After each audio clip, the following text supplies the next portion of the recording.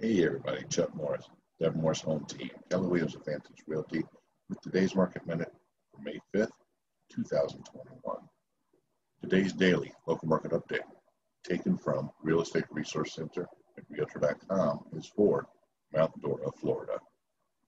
There are currently 275 homes for sale and 25 homes for rent in Mount Dora, according to Realtor.com.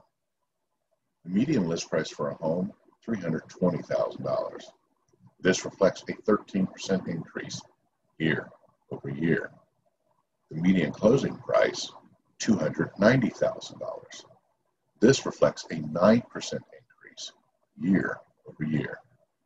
The median price per square foot, $164 per square foot, a 7% increase year over year.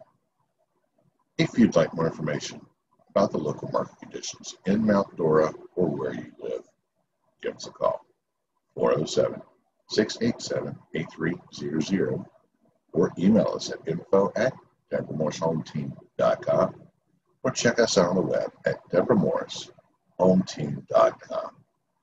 Thank you.